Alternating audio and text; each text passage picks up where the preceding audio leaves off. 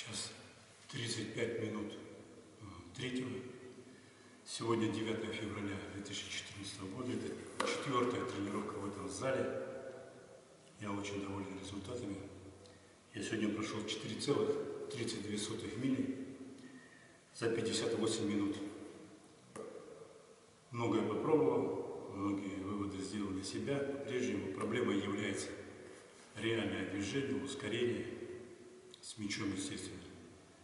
А так, довольны результатами ходьбы без опоры. Это, как я уже говорил, главное направление тренировок.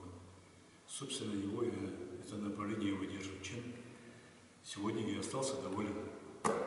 Вам большое спасибо за внимание к моим тренировкам, к моим усилиям. Всем спасибо за тренировку. До свидания.